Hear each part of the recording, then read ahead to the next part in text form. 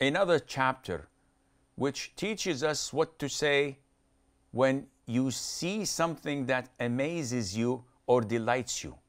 The Prophet ﷺ, as in hadith number 240, he used to say whenever he's amazed of something or is delighted of something, Subhanallah. so when something happens, if someone asks you a question that is shocking or amazing or it shows that he did not understand, your astonishment should be translated into praising, uh, in glorifying Allah by saying, Subhanallah, glorifies Allah, or how perfect Allah is.